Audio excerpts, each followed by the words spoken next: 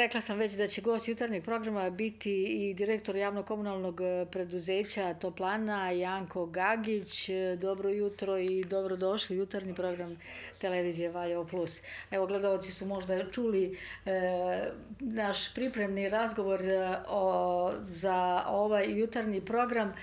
E, Dakle, kakva je e, situacija trenutno u javnom komunalnom preduzeću Toplana šta, šta se radi u ovom trenutku? Pa ova letnja pauza, znači van grejne sezone, koristi se za neophodne remonte i popravke. E, konkretno, ovaj, u Toplani je već urađeno što se tiče ovog kotla od 30 megavata koji je bio u ekspanziji, ovaj, znači čišćenje, to je obavila firma Dimničar iz Beograda i u prošla je nabavka što se tiče sanacije utilizatora. Zatim isto tako odrađene su nabavke, znači jer mi moramo sve one instrumente, kalorimetre moraju se baždariti, znači i to je u toku. Tako to je što se tiče ovaj, samih radova i remonta u toplani. Sve ono što nije neophodno mi nećemo raditi pokušat ćemo da sredstva preusmerimo na investicija koje smo preuzeli iz sobstvenih sredstava, a samim tim da smanjimo troškove.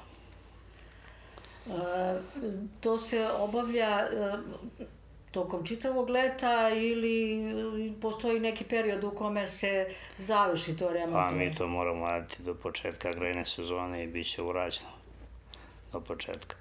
U isto vreme ja pozivam i naše korisnike, znači koji treba, jer oni održavaju sekundarnu ovaj, instalaciju u zgradama, da iskoriste ovaj letnji period i da do početka grejne sezone osposobe svoje instalacije kako bi imali manju potrošnju i za one utvrđene probleme i nedostatke da se reše.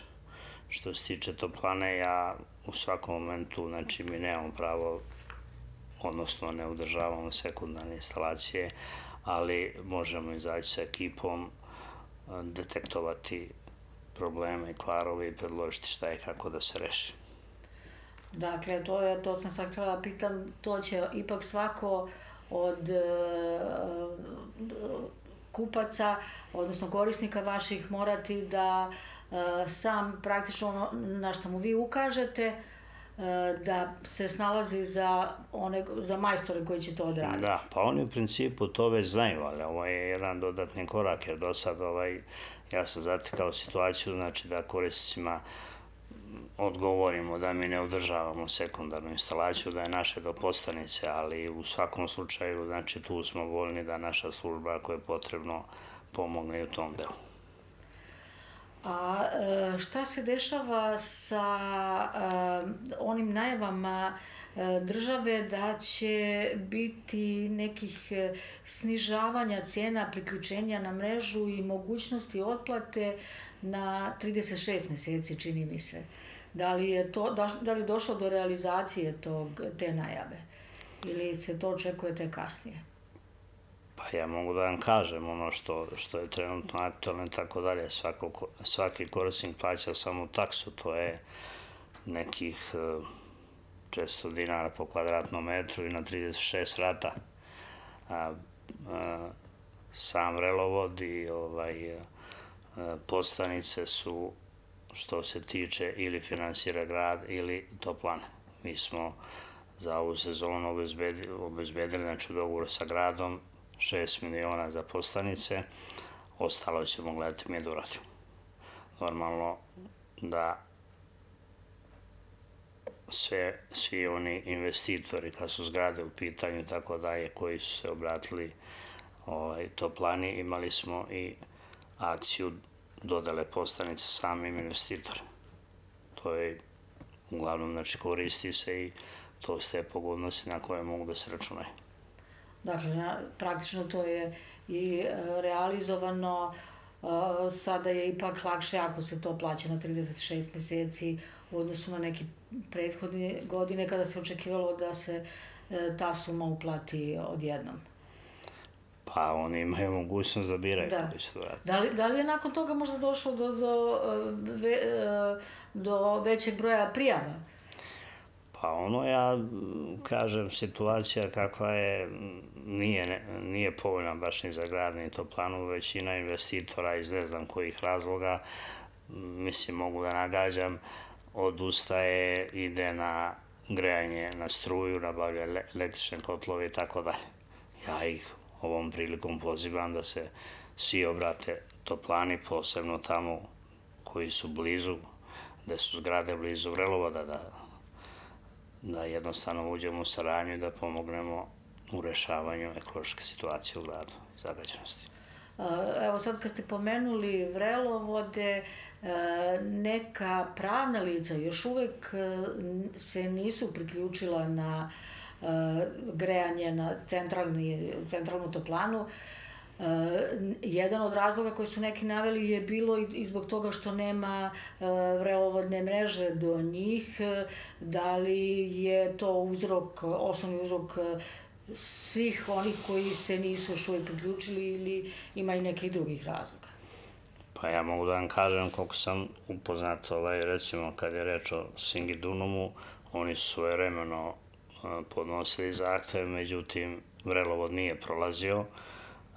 Sada izgradnjom ovog novog vrelovoda bit će mogućnosti da se priključe. Mi smo im poslali ponudu, obavili smo i razgovore, očekujem da to reše, mada su oni među vremenu prešli na pelet, ali ja ne vidim da, da mogu da prođu jeftinije ako se obračuna da i amortizacija i ne može se pelet sam ložiti, znači i radnik i tako dalje, sigurno neće biti jeftinije nego ako se budu grejene Isto tako smo poslali ponudu i Viposu, tu smo već prisutni, što kaže, u samom podrumu, samo da se izvrši priključak i mislim da im je tu mnogo povoljnije nego ovo što sa grejno ložulja i morat će to da menjaju, svakako to je. Uh, ko su veći dužnici, fizička ili pravna lica i uopšte kakva je situacija što se tiče dugovanja prema javnom komunalnom preduzeću Toplana? Pa evo da vam kažem, na, sa 36. ovaj, potraživanje su oko 193 miliona, gde je 71-2 milion što se tiče redovnog duga, a znači onih 120 miliona je takozvani sporan dug gde su izvršena utuženja i što je kod istražitelja. U principu, znači, veći su dužnici fizička lica jer ih ima mnogo više, a ako bi gledali, znači, po procentu korisnika, onda su sigurno pravna lica veći dužnici. Ima li novih investicija u javno komunalnom preduzeću to plana? Pa, mi svi znamo da je grad dobio od Ministarstva zaštitu životne sredine sredstva u iznosu od 80 miliona i da bi investicije bile odrađene, grad je izašao sa 23 miliona. To su investicije rekonstrukcije ovog velikog kotla od 50 MW i pripremu da i on može da radi na gas. I druga investicija je, odnosno imaju tri investicije, druga investicija je sam vrelovod od železničke pored Zavoda za javno zdravlje do Zavoda za zapošljavanje i treća investicija u tom sklopu je nabavka postanica za Zavod za javno zdravlje, za istorijski arhiv i za Zavod za zapošljavanje. Prva investicija, znači, što se tiče samog rekonstrukcije kotla i merno-regulacijone stanice, nabavka je obavljena, izabran je ponuđač bio jedan. Ovaj, u toku su, znači, te pripremne radove, nabavka ide po sistemu ključ ruke, oni će uraditi projekte, dobiti dozvole, kad dobiju dozvole ući će u izvođenje radova, do tada normalno ne. Mi očekujemo da će to biti do početka grejne sezone, a i ako ne bude, znači imamo taj kotao od 30 MW s kojim, s kojim ćemo sigurno ući u grejnu sezonu, a umeđu vremenu će biti završeni radovi na ovom kotlu. A što se tiče znači, investicije za postanice, tu je nabavka odrađena i prošla je i ova je nabavka za Vrelovo, tu imaju dva ponuđača, u toku je pregled dokumentacije, da se izabere dobavljača, a potom da se sklopi ugovor. A što se tiče nabavka, nabavke komprimovanog gasa, da li imate sa tim problema? Pa ne bi trebalo da ima problema, tu nema nekog naročitog izbora. Jedino problem koji može dovesti ako vidimo da su poskupljenja u svemu, ako gas mnogo poskupi, onda će to plana biti u problemu. Nadam se da neće doći do toga. Pored ovih investicija koje idu preko grada, jer je grad dobio sredstva, ima investicija ovaj, koje će idu sredstava toplane i ovaj, mi smo takođe tu pripremi projektne dokumentacije i spremamo se za nabavke. Znači, iskoristit ćemo ovo što taj vrelo ide od železničke pored Zavoda za javno zdravlje istorijskog arhiva. Tu smo dobili saglasnosti od Ministarstva odbrane i u toku su znači ti pripremni radovi, projekti i tako dalje e, za priključak kasa na Vojvoda Živojin Mišić. To će biti nekih novih 20.000 kvadrata za to planu, što će u mnogome doprineti likvidnosti i tako dalje. Sredstva smo obezbeđena, znači sobstvena sredstva i on, tako da nećemo zavisiti od. E, sledeća investicija što se tiče Suvoborske ulice, tu smo u planu i programu bili predvideli da idemo zamenu ovaj, energenta, da idemo na pelet. Međutim, sagledavajući neke stvari, računajući da je evidentno da će gaz doći u grad, e, mi smo se odlučili da ovdje idemo na nešto novo u Valjevu, nije novo u Srbiji, ima već u dosta gradova, to je, to je takozvanska re, e, reonska kotlanica, ona će biti kontejnerskog tipa.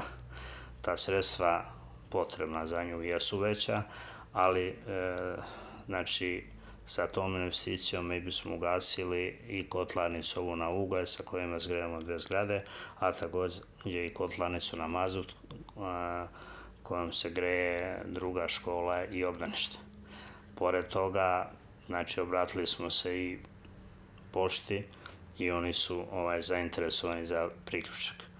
Ova investicija, kažem, jeste nešto veća i tako dalje, ali rešava mnogo više, malte ne, dobit ćemo novih 10.000 kvadrata, računajući na, na školu, na obdanište i na poštu. A da ne pričam koliko će značiti da se ugase obe kotlarnice. E, zaista taj, evo, e, s obzirom da smo mi tu relativno blizu e, tog, te lokacije o kojoj pričate, možemo da vidimo u zimskom periodu crn dim iznad svih tih zgrada, prvenstveno one dve koje se greju na ugalj, ali i za decu u školi i u obdaništu svakako je značajno da prostor bude, da vazduh bude čist u tom delu. Mm. Kad se može očekivati realizacija? Pa mi smo ovo predvideli u novoj izmeni plana i programa koja će biti na sledećoj skupštini na ovoj se nije stiglo to da se uradi. Znači, odmah po usvajanju programa mi ćemo krenuti u nabavku. E, sigurno će to biti završeno do zime. Nismo opterećeni time do početka grejne sezone, jer škola i ove zgrade imaju grejanje. Znači, naš će biti da završi i onda da se priključi. Dakle, to možemo očekivati već e, ove zime da pa, se taj problem reši. Ako ne bude neki baš nepredviđenih okolnosti. Ovo je isto dobra, što kaže, ideja. E, došli smo do toga, posmatrajući da je u drugim gradovima malo drugačije to rešeno. Kod nas je ovaj vrelovod veoma dug, 24,5 km i onda postavio se pitanje znači na kraju pa na visini da li bi uspevalo e, grejanje da bude adekvatno, tako da e, kad prođe ovaj projekat i vidjet ćemo ovaj, mislim da će i Toplana i grad i Janus biti zadovoljni, da nam to bude pelcer i za druge delove grada, gde nismo mogli i nećemo moći da idemo s vrelovodom, znači za te reonske kotlanice. Kažem, radi se onome što već živi u Srbiji. Mi smo išli konkretno u Kraljevo, upoznali se sa tim i ono što mogu da kažem da treba ići na to iz razloga što je efikasnost ovakve kotlanice mnogo veća nego postojeći kotlova i tako dalje. Ako je kod kotlova iskorišćeno 70, 80, da ne pričam više postoji tako dalje, ovdje je koeficijent iskorišćenja 114. Temperatura izduvnih gasova ispod 70 stepeni, onda možete znati ovaj, i veoma su prilagodljive, mogu biti manje, mogu biti fasadne, znači za mnoge objekte.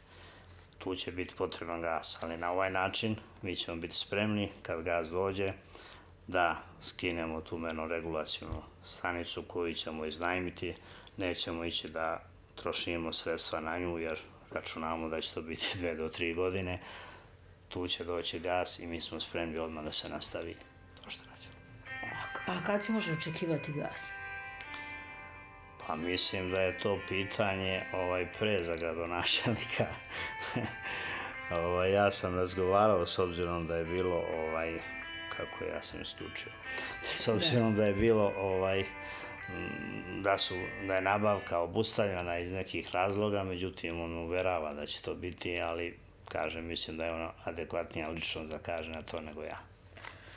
U svakom slučaju, ove prethodne vesti, informacije koje ste rekli su ohrabrujuće i nadamo se da će sve to biti realizovano s obzirom da se čekalo poduže da dođe do uh, priključenja na uh, centralnu gradsku toplanu i svih ovih uh, ustanova i preduzeća kojima smo pričali, škola, na, škole naravno i ovaj deo ovde u Suvoborskoj,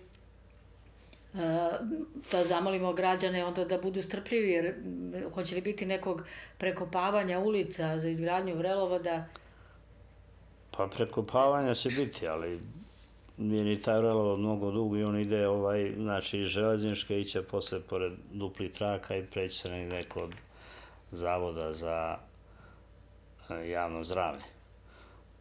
Mislim da neće tu biti nekog naroštog opterećenja, a što se tiče ovoga u Suboborskoj maltene, većina će ići preko ovaj, zelenih površina, tako to je brzo postavljanje Dakle, ne, ne bi trebalo da bude ne, većih problema u saobraćaju i kretanju da. pešaka pri izvođenju tih radova. E, ima još jedna investicija što se tiče to plane, to je, nadam se da ćemo izdržati, ovaj, mi znate da je to plana preuzela obavezu formiranje službe dimničarskih usluga.